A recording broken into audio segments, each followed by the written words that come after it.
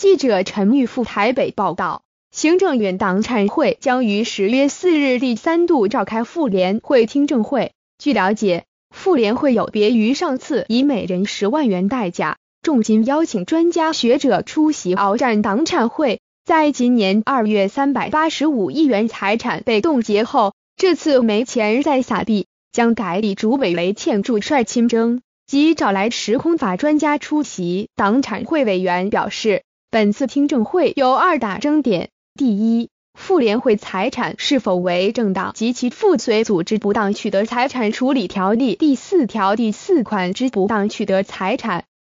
第二，是否应命妇联会移转其不当取得财产为国有？妇联会将以伟大过去迎战党产会。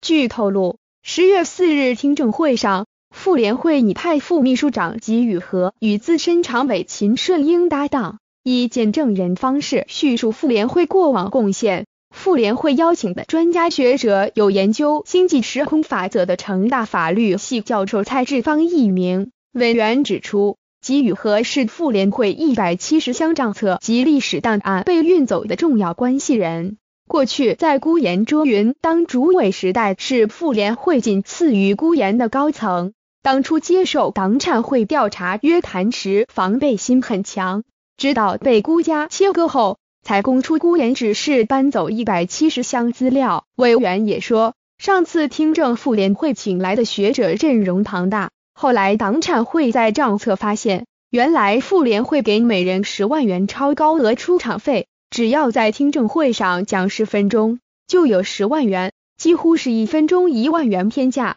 远胜官方给专家学者的两千元车马费。委员提及，妇联会这次没向党产会申请每人十万元经费，要邀请专家学者出席。新的主委雷倩不会这么做，若有党产会也不会同意。